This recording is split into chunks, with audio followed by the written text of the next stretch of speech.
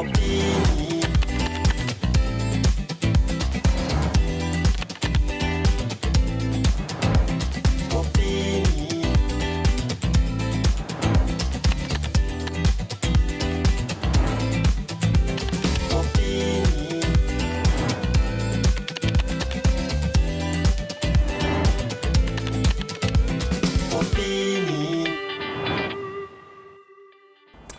Kijkers, goedenavond. Het is maandagavond, 9 uur. Dus zoals u gewend bent is het tijd voor een nieuwe aflevering van Opinie.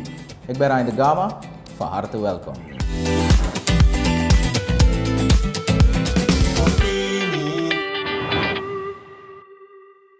U zult zich misschien wel hebben afgevraagd, sa eigenlijk in het verkeer? Dan moeten we denken aan de situatie, de verkeerssituatie aan de Koesewijnenstraat wordt gewijzigd. Dan plotseling horen we de ringweg wordt nou één richting. Dan heb je dus één baan die gaat, één baan die komt. Dan zien we nou dat de Zwartenhovenbrugstraat ook wordt gerehabiliteerd. En dit zijn echt enkele voorbeelden van een aantal zaken die er gebeuren met onze wegen hier in ons verkeer, hier in Suriname. Dus misschien zul je afvragen, maar zij eigenlijk? En u bent misschien niet de enige die zich afvraagt, zo zijn er velen. Daarom hebben we vandaag gemeend om dus onze gasten uit te nodigen ter zakendeskundige gasten wat betreft verkeer hier in Suriname. Vanavond zullen we praten over herordening van het verkeer.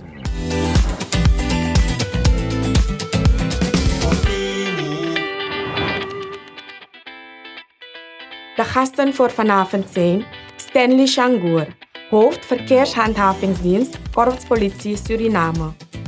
Shangur heeft in de periode van 1995 tot 2013 gediend bij de Motorsurveillance-dienst Suriname.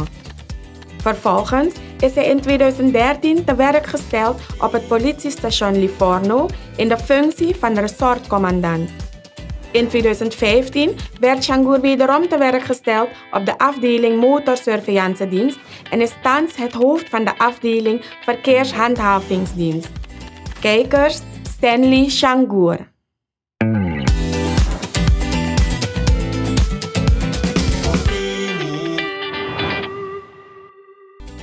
Henk Wip, hoofdafdeling verkeer op het ministerie van Openbare Werken, Transport en Communicatie.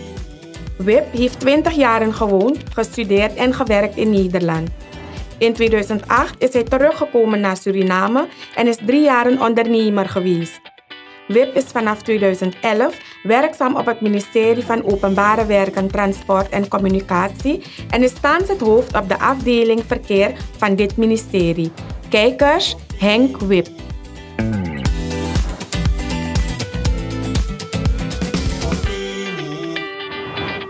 Welkom gasten, welkom meneer Wip en de heer Shangour, welkom in Opinie. Goedenavond. Goedenavond. Om te beginnen zit ik me altijd af te vragen, hè? Hoeveel voertuigen rijden er momenteel of tegenwoordig op onze wegen, heren? Hoeveel voertuigen? Uh, als we ervan uitgaan wat uh, geregistreerd staat bij de VTD, de, ver, de Verkeerstechnische Dienst, dan praten we over een aantal van uh, 300 zoveel duizend in totaal. 300.000? Ja, ja. Meer dan 300.000. Maar wat bedoelt u meneer Shangour? Paramaribo of? Landelijk. Landelijk, 300.000.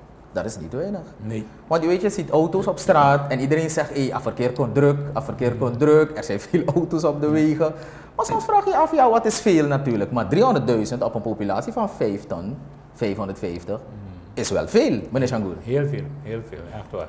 Heel veel. En als we even kijken, uh, als je een, een blik werpt in het verleden en je zegt hoeveel auto's waren er toen en als u kijkt naar onze wegennet, ik denk dat we echt moeten gaan denken om uitbreiding. Als het nou ongelijkvloers wordt, dan kijk ik naar weet u, als wegbeheerder. Maar we moeten echt nu gaan denken om het wegennet uit te breiden. Wat nu gaande is, hè? met rehabilitatie en bruggen die worden gebouwd komt goed. U verwijst naar meneer Wip. Ik, wil, ik, ik, wil, ik, weet, ik weet het niet hoor, maar ik wil bijna zeggen meneer Wip, als u een weekje thuis bent, laten we zeggen u bent griep en u bent thuis. Ik wil bijna zeggen dat we dan een probleem hebben met het verkeer meneer Wip. Want u bent echt degene, constant op straat zie ik u bezig, dan met verkeerslichten, dan met uh, gewijzigde situaties. Als ik mijn beeld moet schetsen van onze verkeerssituatie nu, wat, waar, waar moet ik denken? Hoe, wat kunnen we zeggen van onze verkeerssituatie?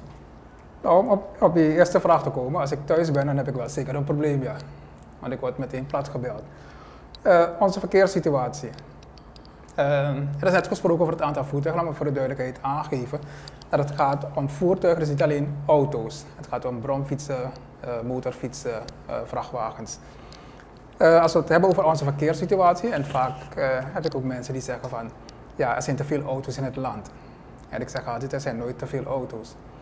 Ja toch, wanneer we leven in, in een land en we hebben de vrijheid om zelf te bepalen of we een auto mogen kopen, dan is het in, in, principe de overheid die moet faciliteren en zorgen dat de wegen er zijn, maar dat de wegen ook uh, uh, begaanbaar zijn. Hebben we het over onze verkeerssituatie, dan kan ik u aangeven dat wij een situatie hebben waarbij we nog niet zijn waar we moeten zijn en dat we tegenaan lopen. filevorming, congesties en dat soort zaken. En daar zijn we mee bezig om die op te lossen. Ja, ja. Maar u zei dan net voertuig, hè? zei meneer Shangour, 300.000. Maar als we dan naar de auto's kijken, want dan word ik ook weer even benieuwd. Want 300.000 dat zijn voertuigen, maar dan zitten er, zegt u nog, bromfietsen, ja. uh, vrachtwagen. Maar auto's, als we gangbare auto's die we kennen. De exacte cijfers heb ik niet, maar ik denk dat we zo zitten rond de 2 ton. Ja. auto's. Ja, dat zijn. Okay.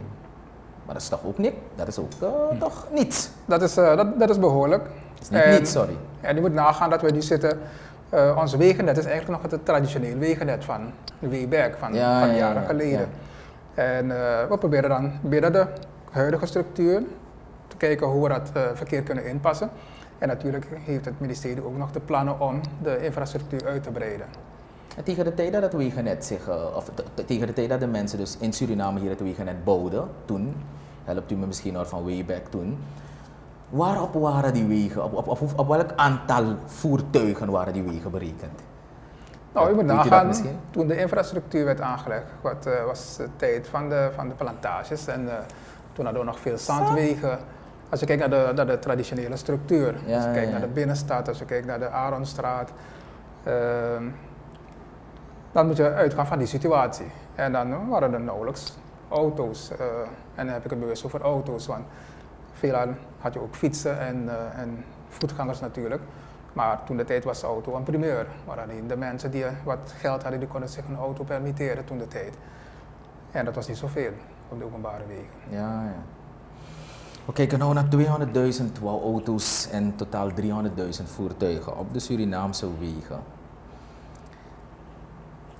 Ik zei dat net in mijn inleiding, je hoorde mensen zeggen dan een aanpassing ja, dan een aanpassing hier, dan weer hier een aanpassing, dan is meneer Wip hier bezig weer, dan verandert weer hier een verkeerssituatie.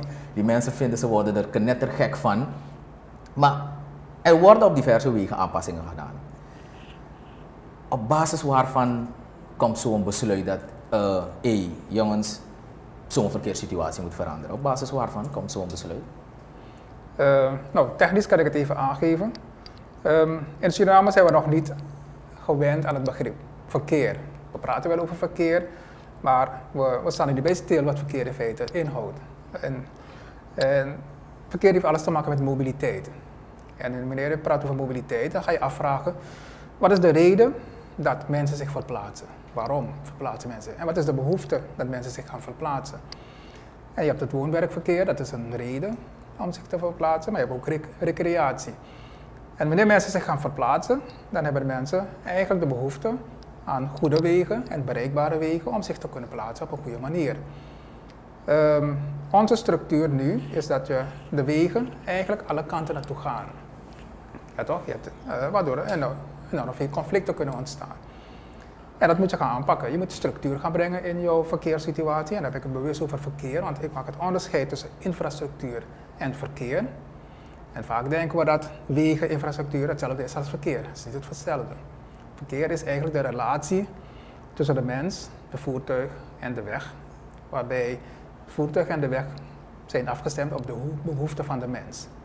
En dat proberen wij te realiseren. Dat is verkeer. Juist. Ja, de behoefte van de mens is doorstroming, een goede doorstroming en een goede afwikkeling. Ja, ja. Meneer Shangur, hoe gaat de politie dan om als dus uh, afdeling verkeer heeft gekozen voor een aanpassing bijvoorbeeld? Pak maar bijvoorbeeld de Koesewijnenstraat. Je hoorde mensen vaak klagen van ja, de Koesewijnenstraat is zodanig aangepast dat bij wijze van spreken in principe if een ambulance komt, dat die ambulance niet door kan of iets met sirene, een voertuig met sirene niet door kan. Hoe speelt de politie in op zulke zaken als dus er een aanpassing gedaan is geworden?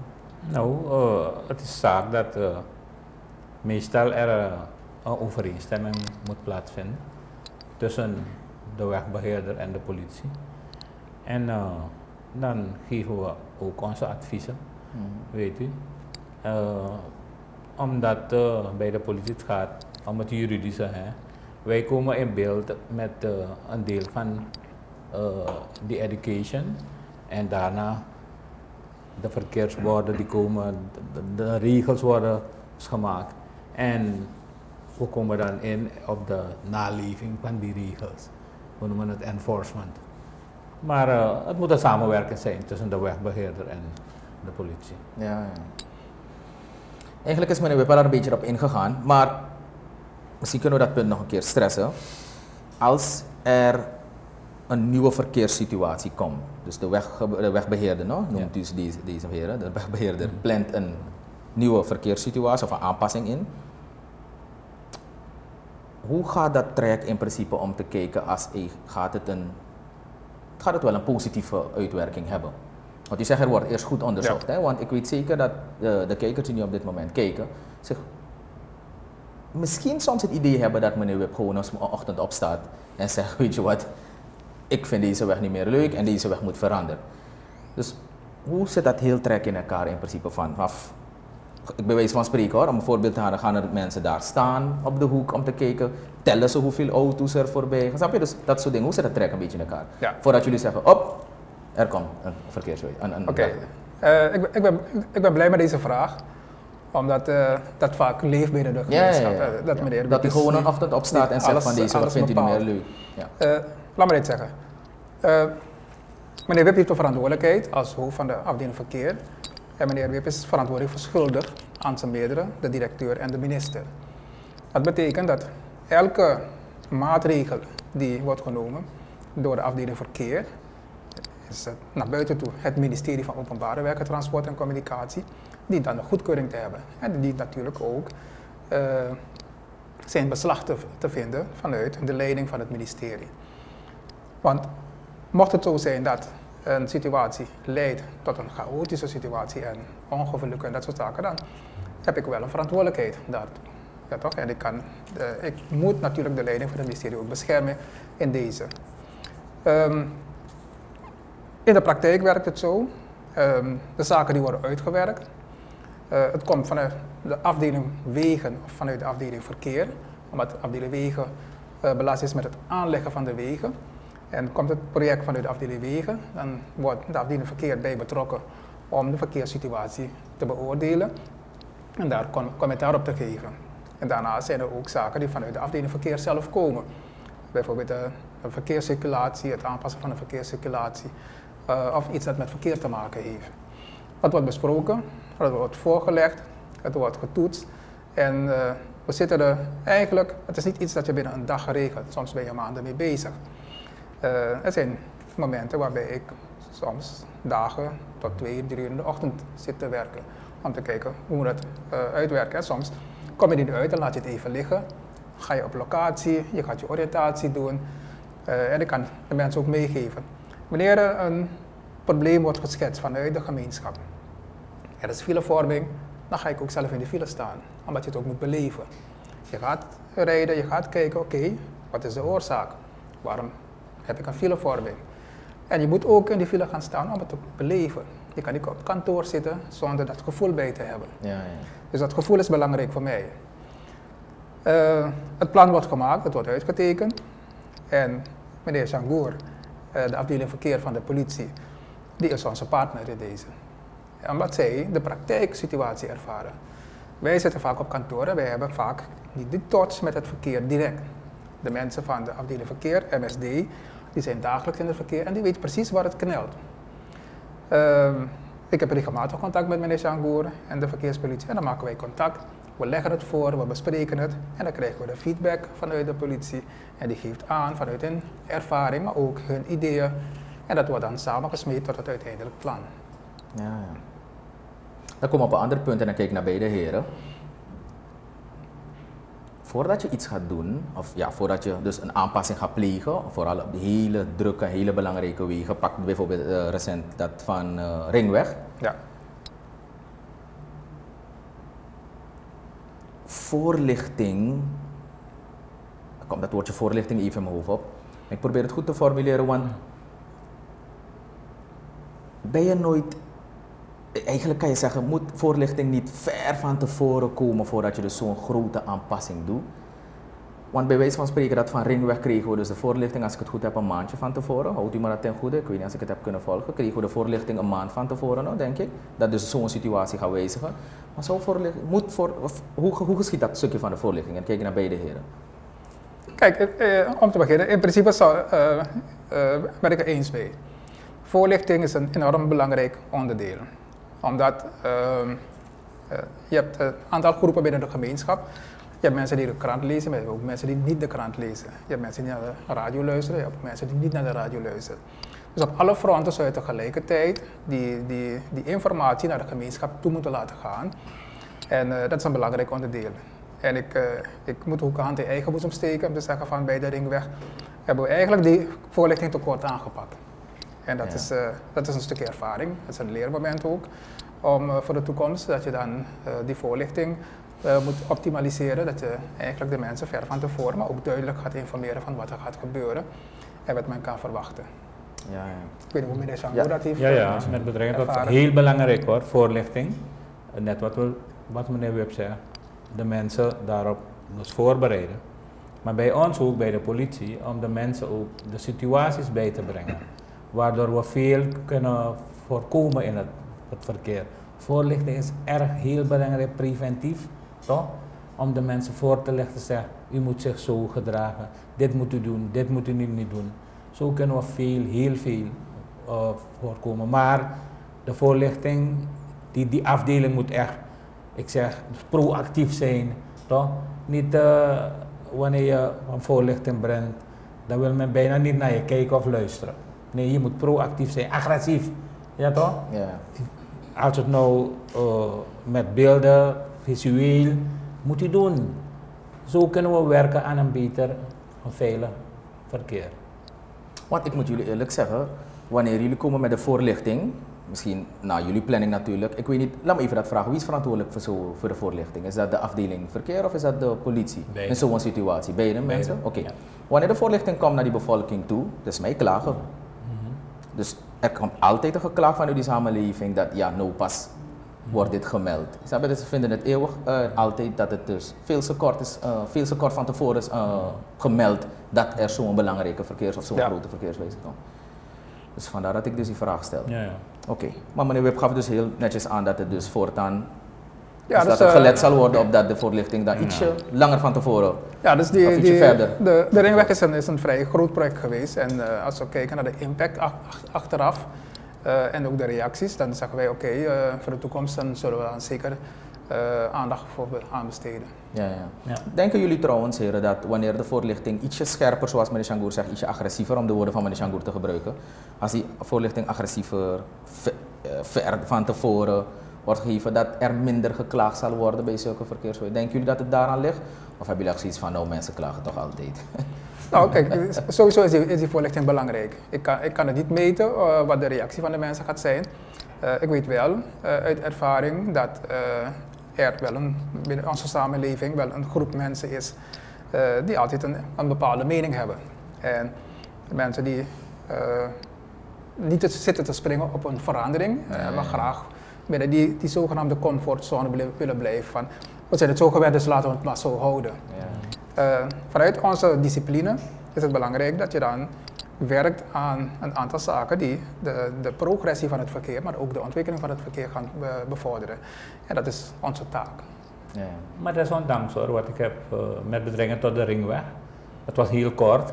Maar desondanks bij het instellen van eh, het eenrichting circuit. Ik vind dat de, men- de weggebruikers zich toch eh, zodanig hebben gedragen dat het heel goed is gegaan.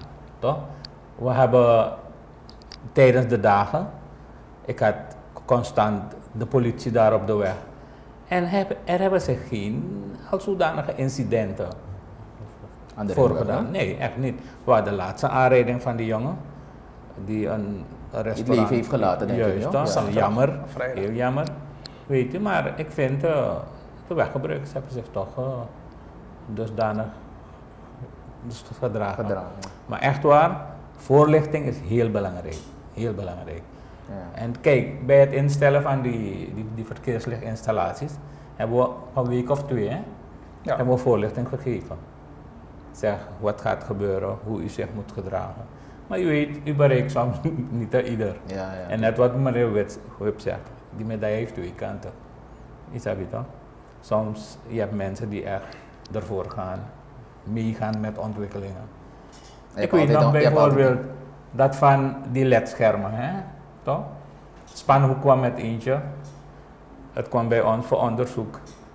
En we hebben gezegd, ach, eh, laat ons meegaan en kijken hoe het werkt. Wauw, wat we daarna kregen. Het leidt me af, het leidt me dit. Maar op een gegeven moment moet u meegaan. En wat hebben we toen gedaan? We hebben toen ook voorlichtingsprogramma daar laten afdraaien. Ja. Wanneer u staat bij het verkeerslicht, dan kijkt u. Ja. Bij groen licht moet u oprijden, bij Ja, rood licht ja, weet u ja, wel. ja, ja. Zo moet u inspelen. Ja, beide heren geven aan dat voorlichting heel belangrijk is. En aan de andere kant geven ze ook aan dat het toch wel ruimte is voor verbetering qua voorlichting wanneer er dus zulke verkeerssituaties, gewijzigde verkeerssituaties zullen plaatsvinden. Laten we even gaan kijken wat de mensen op straat, want natuurlijk hebben we ook mensen op straat weer geïnterviewd en gevraagd wat hun mening is, wat hun opinie is omtrent herordening van het verkeer. Kijkt u even met ons mee.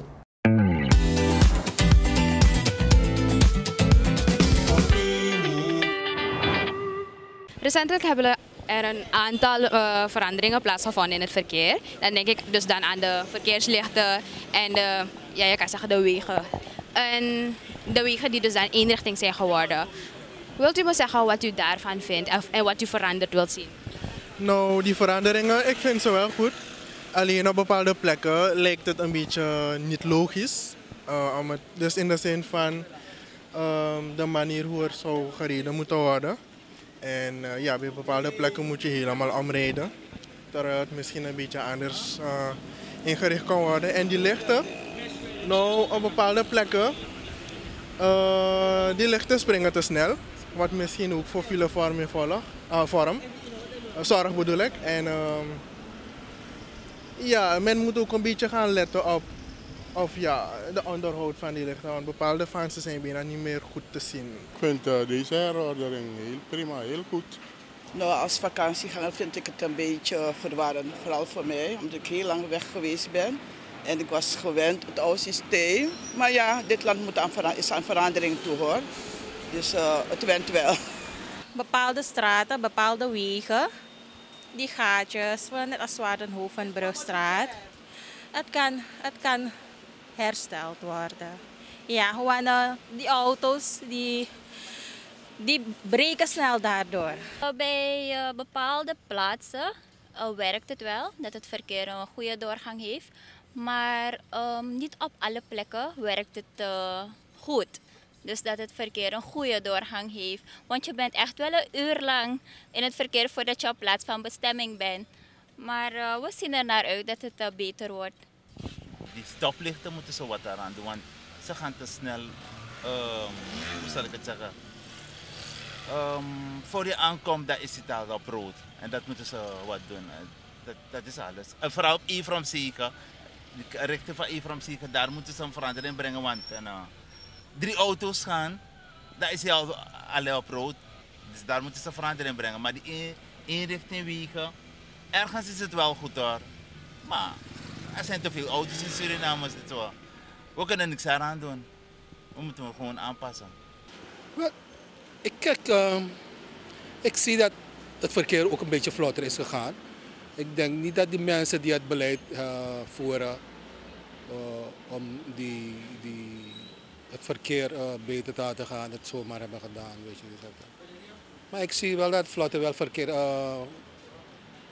vlot, een, beetje, een beetje vlotter is gegaan. Niet zoals het moet zijn. Maar ja, ik zie dat het wel lukt. Met deze herordening, uh, ja, is goed. Maar soms heb je toch files bij de eenrichting verkeer. Waardoor er ja, files ontstaan. Maar het, is ook, het ligt ook bij de bestuurders. Die, ja, soms heb je niet bepaalde bestuurders die, die voorrangs verlenen aan andere voertuigen. Waarbij ja, die files ontstaan. Ik, vooral in de binnenstad, zodat die wegen nog ietsje breder moeten zijn. Zo, dat uh, een beetje vrijer kunnen rijden. En uh, oké, voor de fietsers en de bureaufietsers dat er aparte, aparte banen worden gemaakt, zodat het ook een beetje veiliger voor ze wordt. En die voetgangers ook. Ja, en dat ook uh, misschien een strenger beleid wordt uh, omtrent voetgangers die oversteken. Want je steekt soms over, je bent al op de helft van de weg, dan rijden ze toch door. Dat men voor ons, wij als taximannen, meer ruimte creëert. Vooral in de binnenstad. We hebben geen standplaats. Net zoals ik zei, je stopt even en je krijgt twee agenten op je. Dus ik vind dat men ook aan ons moet denken. Vooral, vooral als taximan.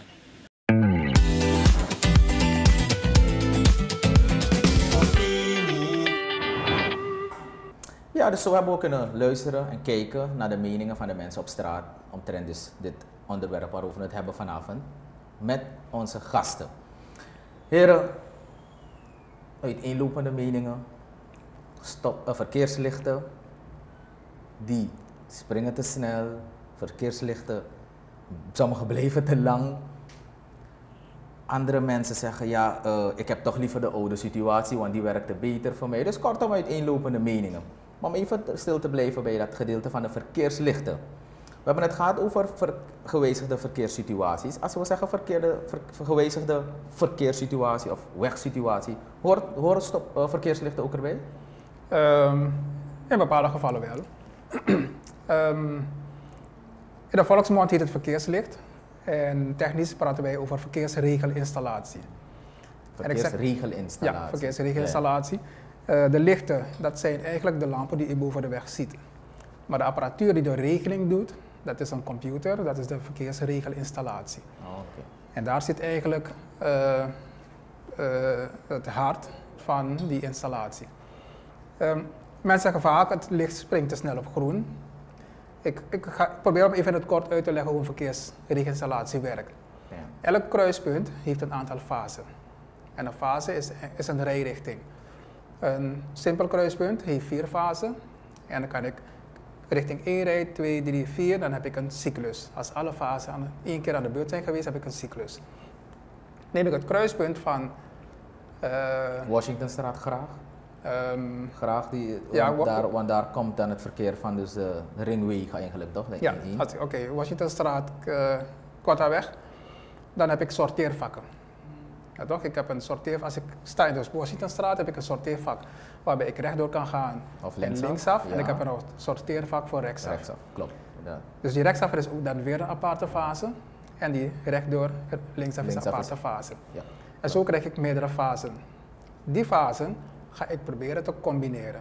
Met de verkeerslichten die we, de verkeersregelinstallaties die we nu hebben aangeschaft, hebben veel meer mogelijkheden. Een van de mogelijkheden is dat je veel meer combinaties kan doen met rijrichtingen. En dat hebben we daar toegepast. Met uh, de bedoeling van het combineren van die verschillende fasen is om in feite die cyclustijd te verkorten. Dus je hebt die fase. Wanneer ik ga combineren, dan kan ik zeggen, oké, die rechtsafers die rijden samen. En die rechtsafers die krijgen bijvoorbeeld 15 seconden. Maar bij de inrichting van, het verkeers, uh, van de verkeersregelinstallatie, dan hou ik rekening met de hoofdstroom. Wat is mijn hoofdstroom? Waar heb ik de grootste intensiteit? De Washingtonstraat en de Kortaweg. Ja, ja. En die moeten dan veel meer tijd krijgen. Als ik kijk naar Kortaweg West, het verkeer dat komt van het westelijk deel van de Kortaweg richting het centrum, is enorm hoog. Het verkeer dat komt vanuit de Washingtonstraat is enorm hoog. Dus die beschikbare tijd moet ik gaan verdelen over de verschillende fasen. Een verkeersregelinstallatie werkt effectief wanneer de cyclustijd maximaal 120 seconden is. Dat, dat is de complete cyclus. Dus. Yes, het complete cyclus. Ja, ja. 120 is, seconden. Ja, en dat is heel lang, dat is twee minuten. Dat is heel lang. Wij proberen om die cyclustijd beneden de 100 seconden te houden. En dan kan het zijn dat het licht snel op uh, oranje, op rood gaat, maar ik kom weer snel weer aan de beurt, omdat die cyclus kort is. Ik kan een lange cyclus hebben, dan rijdt hij misschien wat sneller, maar dan blijft hij dan weer, voordat hij weer lang, voordat hij weer aan de beurt bent. Ja, toch? Dus het is, een, uh, het is meten op basis van de intensiteit om te kijken, maar de bedoeling is om de, uh, de wegen of de fasen waar de intensiteit het hoogst is, om die veel meer tijd te geven om het aanbod aan, aan verkeer zo snel mogelijk weg te werken.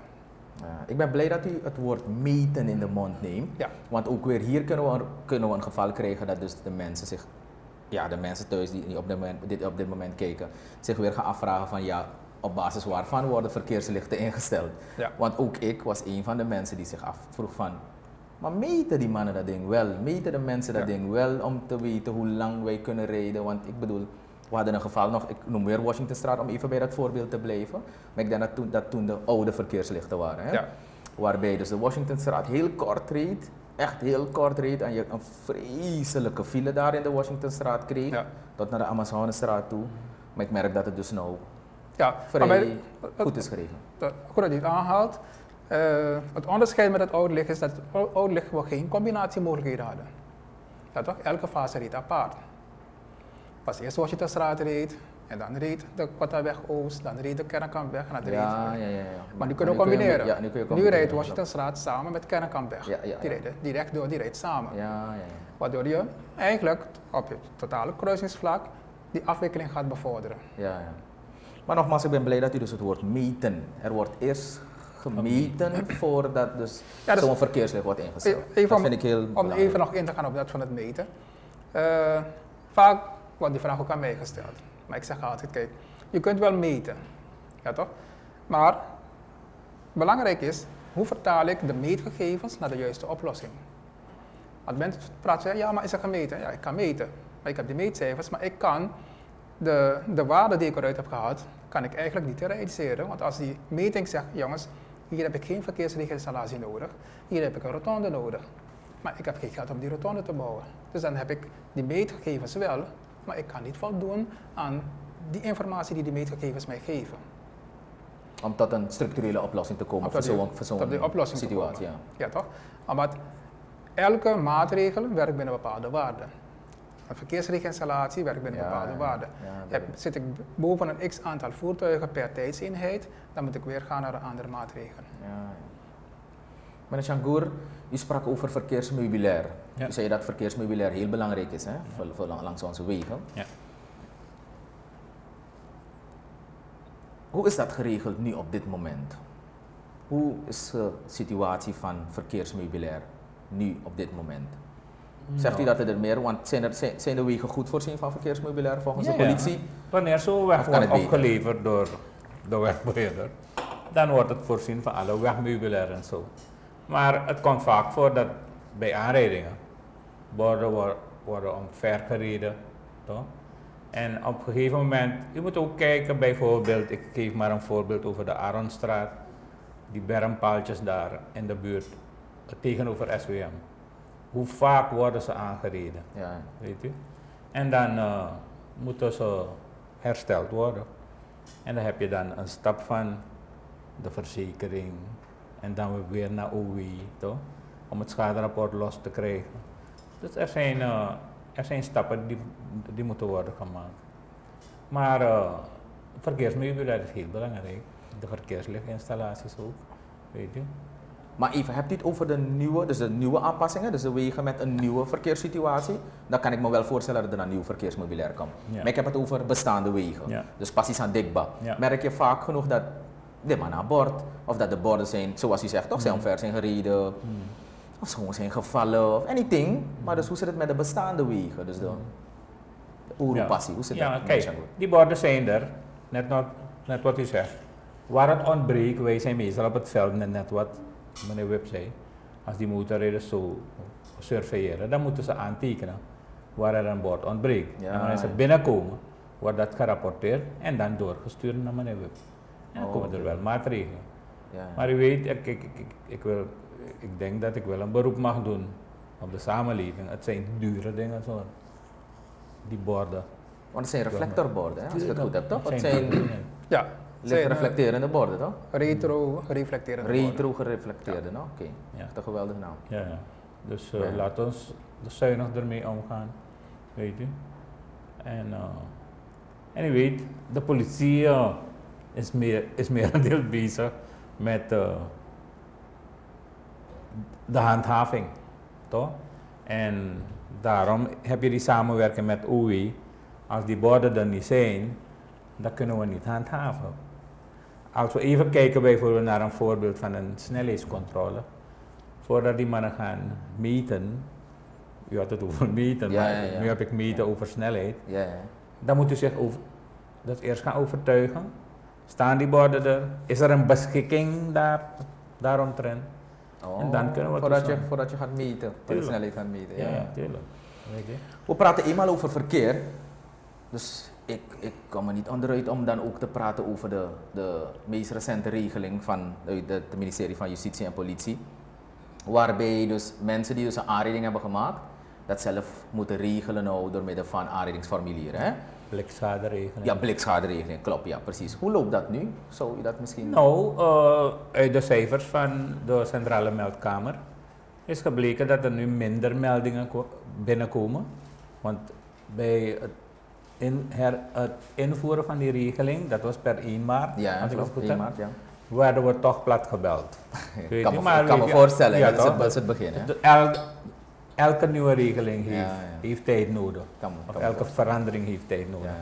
Maar volgens de rapportage van het hoofd van de Centrale Meldkamer loopt het nu wel goed.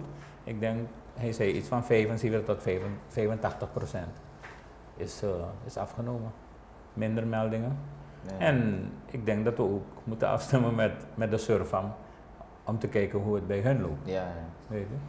Oké, natuurlijk, dat is een ander geval. Maar voor de politie is het eigenlijk, dat Ja. doel in principe is wel gelukt. Dus dat jullie minder telefoontjes krijgen en minder gestrest worden voor blikschade. Let wel, behalve dat die aanrijdingen met betrekking tot eh, zware materiële schade, Ja, ja, ja. zwaar lichamelijk letsel, rijden onder invloed. Daar moet de politie Dat zeker. Of dat iemand rijdt zonder rijbewijs, Ja, weet je. Want het komt voor. Of een hit en run, iemand heeft aangereden en hij rijdt weg. Weet je.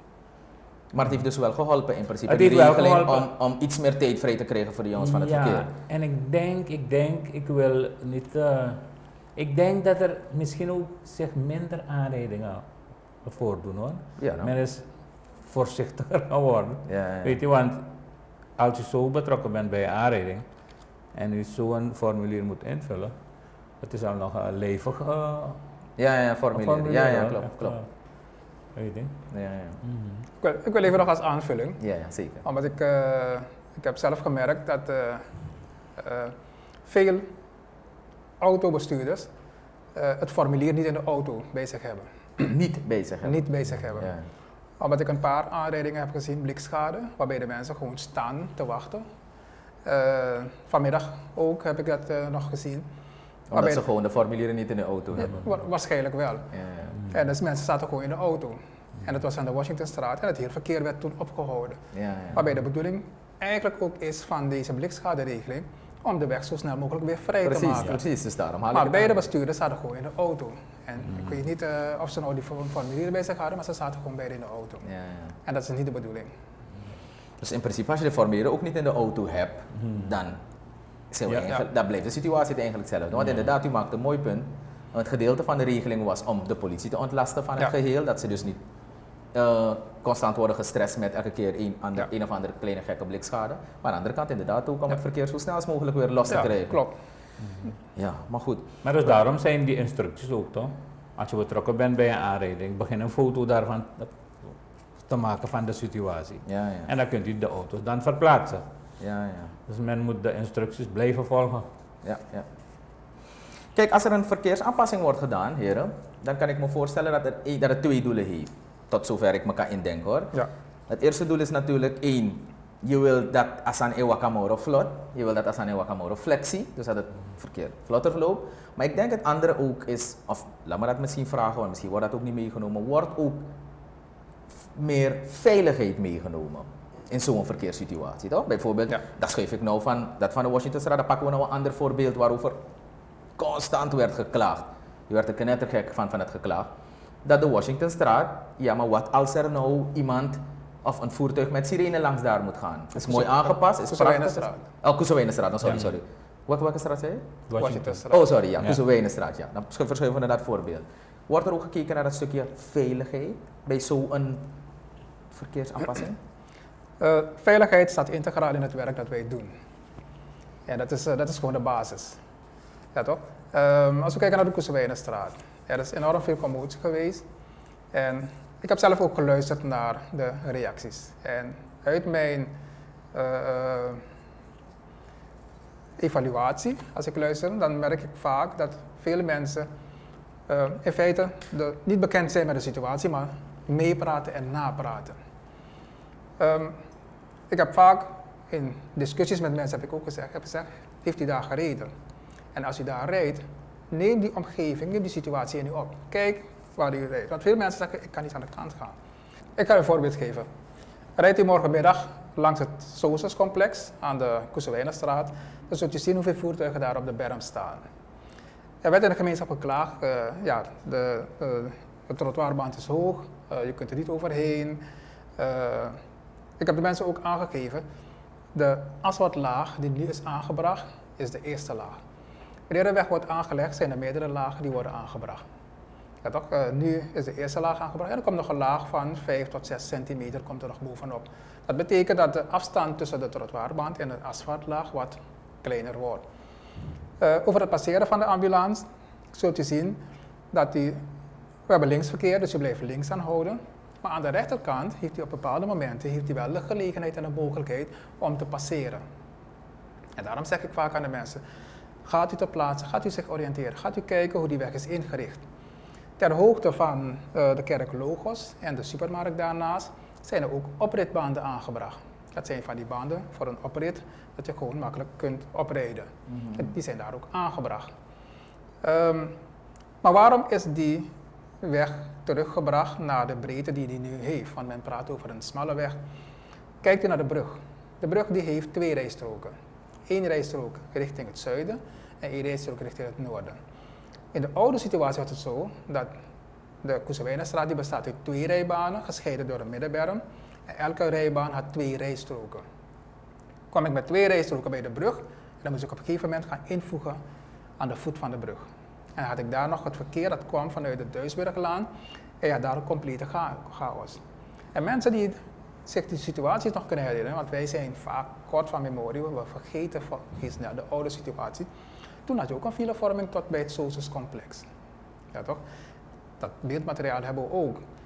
Wat wij hebben proberen te doen, is om die ene rijstrook aan te houden in een lijn naar de brug toe.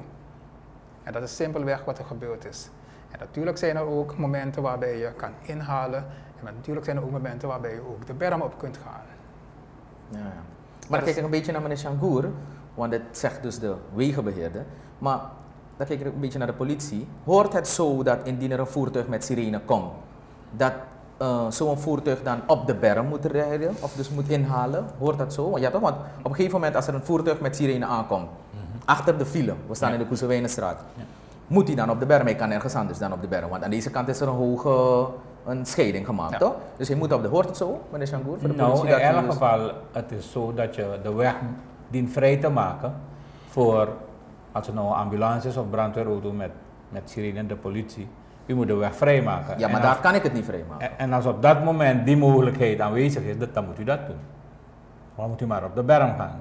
Wat meneer Wip zegt... Als ik komt zo de nog- bestuurder ben van het voertuig met sirene. Juist. Ja. Nee, nee, nee, niet met, met sirene. Oh. Als, ik, als u voor die ambulance rijdt, moet u de weg vrijmaken. Dat hij langs kan gaan. Oh, want ik dacht juist omgekeerd. Dus dat is een hele mooie discussie. Mm-hmm. Want ik dacht juist omgekeerd. Ik dacht de auto's blijven staan, Mm-hmm. omdat ik niet op de berm kan gaan zitten. En laat de voert, het voertuig met sirene dan op de berm langs gaan. Nee, dat dacht nee, ik. Dacht juist helemaal Nee, omgekeerd. u moet de weg dus vrijmaken. alle auto's moeten juist op de berm gaan zitten. staan? moet kijken, het komt ook vaak voor, ik neem maar een voorbeeld, Hernuttenstraat. Hernuttenstraat, Ja, Hernuttenstraat. S'morgens Ja. is het vol met auto's. Ja, ja, ja. En er komt de ambulance. Ja. Dan moet u toch vrijmaken. Als u nou links gaat of, of rechts. Je moet het vrijmaken. Ja, ja. Of je gaat oprijden, weet je. Natuurlijk met een achtneming van de veiligheid. Ja, ja, ja. Weet je, de veiligheid is altijd al Op de eerste plaats. u, heeft het net gehad over een situatie waarbij er filevorming is. Ja. In de nieuwe situatie willen we eigenlijk die filevorming voorkomen. En die filevorming werd eigenlijk eh, ehm, kwam doordat vanuit de zijstraten er invloedend verkeer was. Eh, vanuit de Duisburglaan had je dat verkeer uit de rechtsafverkeer naar de brug. Maar dat is ook afgesloten nu, hè? Eh, Duitsburglaan is ook afgesloten. Om rechtsaf te gaan, sorry. Op, ja, om dus rechtsaf te gaan. ja, die rechtsafbeweging is eruit gegaan. Dus wat wij in de nieuwe situatie hebben gedaan, is dat wij willen garanderen dat die doorstroming, dat dat bevorderd is, dat dat garan- gegarandeerd is. Ja, Ja, toch? Om die filevorming van de Koesewijnenstraat, dat deel tussen de brug, om die te elimineren. Dat is belangrijk. Wanneer je geen filevorming hebt, betekent dat het verkeer kan doorrijden. Dat betekent, eh, de sirene, je hoort hem aankomen, je hoort, de sirene. Eh, het verkeer rijdt. Dat betekent niet, want eh, er zijn twee verschillende situaties. Er kan een filevorming staan, zijn waarbij het verkeer stilstaat. En die situatie heeft zich aan de Koeswijnenstraat wel voorgedaan in de periode waarbij de werkzaamheden gaande waren en het verkeer vast kwam te zitten. Dat de ambulance kwam en men niet voorbij kon gaan. En dat heeft toen de hele discussie doen ontstaan. Maar wanneer het verkeer doorstroomt en je geen filevorming hebt, heb je weer een hele andere situatie. En ik denk dat men dat ook voor ogen moet houden, dat er een aantal maatregelen noodzakelijk zijn om die doorstroming van die Koesewijnenstraat te bevorderen. En dat is om die invloedend verkeer op de Koesewijnenstraat, om dat te elimineren. En waarom is dat belangrijk? Wij hebben een aantal maatregelen getroffen, maar wat zien we gebeuren in de praktijk? Dat veel weggebruikers die maatregelen en de aanwijzingen die er zijn, dat zij die negeren. Gaat nu kijken, men rijdt. En onze broeders, de, de buschauffeurs, en een groot deel van de buschauffeurs, niet allemaal, maar een groot deel, die lappen alle le- eh, regels aan de laars. Ja, dat van de bussen natuurlijk, dat brengt ons op een hele andere discussie. Want ja, dan moet ik genoodzaakt weer naar meneer Shangour kijken. We gaan hier niet helemaal in die discussie, maar we hebben het eenmaal over verkeer. Meneer Shangour, meneer Wip zegt als wegenbeheerder dat in dit geval hoor, enkele bushouders, om even dus dit, bij dit specifiek voorbeeld te blijven, want er zijn ook andere mensen die er een potje van maken, Ja. maar om even bij de bushouders te blijven, dat enkele bushouders er een potje van maken Ja. en daardoor ook het verkeer in gedrang brengen of zelfs in gevaar brengen. Ja. Wat doet de politie in dit soort gevallen? Want we merken dat dus de politie is er op straat, de politie hoort op straat te zijn, maar we merken toch weer, nu ook weer hier vanuit aan de kant van meneer Wip, dat het toch nog steeds gebeurt. Ja. U had er al een keertje in een andere aflevering van Opinie deze discussie, dus we gaan er niet breedvoerig in, maar even in het kort, Hmm. wat doet de politie nog? Nee, eh, de politie gaat eh, eh, de handhaving gaan we aanpakken. We gaan het verhogen en we gaan ook komen met onopvallende surveillance. Want als men die motorrijder in het vizier heeft of een prowagen, Ja, dan doet men alsof men niks heeft gedaan. Maar in het verleden heb ik het reeds gedaan. Ik zat toen bij de motorbrigade. En we hebben toen schoonschip gemaakt aan de Indira Gandhi weg. Want het was schering en inslag daar. Ja, ja. Rijden over het rijwielpad. Ja, ja. En met het beleid van deze nieuwe minister gaan we het weer aanpakken. Handhaving wordt echt, we gaan het verhogen. En eh, dit gaan we moeten voorkomen natuurlijk. Anders heeft het geen zin dat de, de Koezewijnenstraat is aangepast en, en waar dan ook. Ja, precies. Ja, toch? Als, dus er ja, een paar, Dus- als er bepaalde juist. groeperingen een potje van Juist. maken. Dus ja. dat deel van de politie eh, enforcement, we gaan het aanpakken. Oké, geweldig. U hebt het gehoord. U die op dit moment kijkt, u kijkt nog steeds naar deze aflevering van Opinie. En we hebben het over het herordenen van ons verkeer. We zitten vandaag hier met meneer Shangour en meneer Wip. Heren, tot slot. Wilt u misschien iets meegeven aan de mensen thuis die kijken omtrent ons verkeer, herordening van verkeer of verkeer? Tot slot. Ehm, ja, tot slot wil ik aangeven dat ehm, er is veel commotie vaak bij wijziging van verkeerssituaties. En ik wil de gemeenschap meegeven dat wanneer wij eh, ertoe overgaan om een verkeerssituatie aan te passen, dan wel te wijzigen, dat, eh, dat wij dat doen vanuit een bepaalde eh, discipline. eh, een, een bepaalde visie, maar met het doel om het verkeer veiliger te maken, maar ook om de doorstroming en afwikkeling van het verkeer te bevorderen. Indien er zaken zijn, kan men altijd bellen met het ministerie, met de afdeling verkeer kan men ook bellen. Men kan bellen met de afdeling voorlichting van het ministerie, dat is het nummer 46 21 21. En eh, het nummer 46 21 21. En eh, het nummer van de afdeling verkeer is 49 47 49. En als er klachten zijn, kan men dat ook altijd doorgeven, liefst via eh, de afdeling voorlichting. Maar we staan er open voor. Als er klachten zijn, als er suggesties zijn, kunnen mensen het aangeven. Eh, wij zijn bezig om een stukje structuur te brengen, ook binnen de afdeling. En wat ik even wil meegeven, tot slot. De verkeersregelinstallaties die we nu hebben aangeschaft, die kunnen vanuit kantoor kunnen die gemonitord worden. En die kunnen ook aangestuurd worden vanuit kantoor. En dat is eigenlijk de toekomst waar we naartoe gaan met onze verkeersregelinstallaties. Uh, rest nog dat we camerasystemen gaan plaatsen om het verkeer te monitoren. Maar we zijn stapvoets zijn we bezig om dat uit te breiden. Uh, dus wij kunnen nu vanuit kantoor kunnen wij het systeem monitoren. We kunnen zien als het systeem wat uit, uit, uitvalt.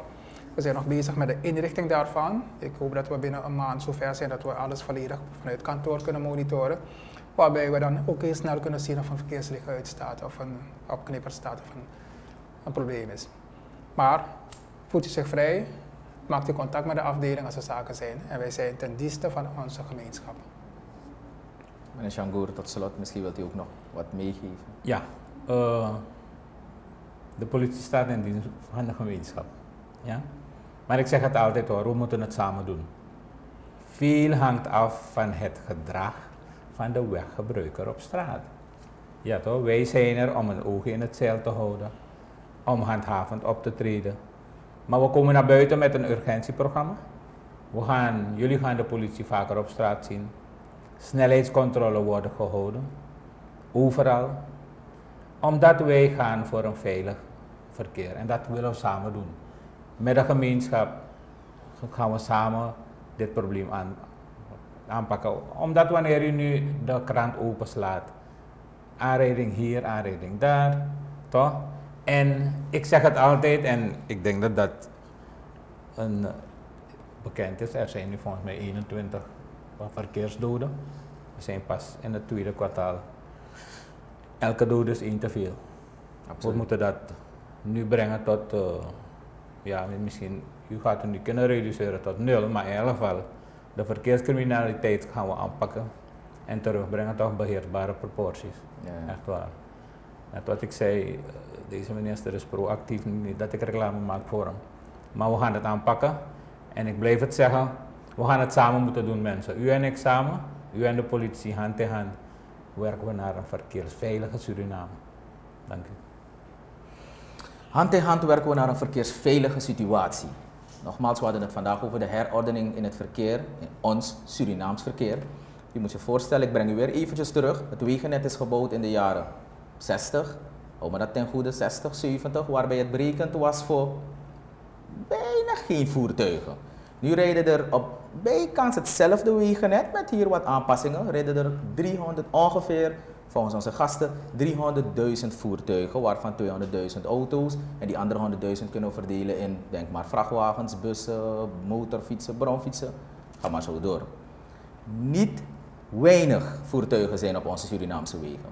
Dus het neemt wel wat van de afdeling verkeer van, van het ministerie OWTNC en ook natuurlijk van de politie, aan de kant van de politie, neemt het wel wat om elke dag weer het verkeer vlot te laten verlopen, maar niet alleen vlot te laten verlopen, ook veilig te laten verlopen, want die twee dingen moeten samengaan. Vlot is leuk, is mooi, maar het moet ook veilig zijn. Het andere waar we, dat we ook willen stressen, is dat eigenlijk we de geluiden niet meer hoeven te horen. We hopen althans dat we de geluiden niet meer, niet meer hoeven te horen. Dat de politie, zowel het afdeling van verkeer, zomaar ermee doet, Sani. De man doet zomaar, Sani. Jullie hebben het gehoord vanavond hier in opinie. Dat er wordt gemeten en er wordt gekeken. Er wordt gecheckt, er wordt onderzocht, er wordt gediscussieerd. Er wordt, zelfs meneer Wip gaf aan, zelfs in de file gaan de mensen zitten om te ervaren wat u en ik ervaren. Alleen om die situatie goed te bekijken van wat er moet gaan gebeuren. Daarna, na dit alles in kaart hebben gebracht, komt er een verkeersgewijzigde situatie. Wat dat betreft van de verkeerslichten slaat eigenlijk op hetzelfde neer. Er wordt daar ook gemeten. Dus nog een tax aan zomaar dat de mensen gewoon op een blauwe ochtend opstaan en gewoon hier of daar wat verkeerslichten veranderen. Nee, er wordt gemeten en er wordt gekeken. AUB, alsjeblieft. Laten we dus, zoals meneer Shangour zegt, nadat we dit alles nou hebben gehoord hier van onze twee gasten, laten wij dan ook als burgers, als volk, die deel uitmaken van het verkeer en gebruik maken van het verkeer, laten wij dan ook een beetje meewerken met deze twee prachtige afdelingen. Afdeling verkeer van het ministerie van OWTNC en aan de andere kant het ministerie van Justitie en Politie in de vorm van verkeerspolitie, verkeershandhaving. Laten wij dan ook een beetje AUB meewerken. Ik hoop dat u weer wat hebt kunnen hebben aan deze aflevering van Opinie. Vanavond, voor de herhaling, kijkt u woensdag en vrijdag telkens om 9 uur. En we zeggen het altijd. Nou broeia, als u die ook hebt gemist, dan gaat u rustig naar YouTube op de channel van het Nationaal Informatie Instituut. En dan kunt u rustig op uw gemak door deze aflevering fietsen. Rest mij u een fijne kijkavond toe wensen. Blijft u vooral kijken naar kanaal 8.3 GovTV. Ik ben Ryan de Gama. Dag.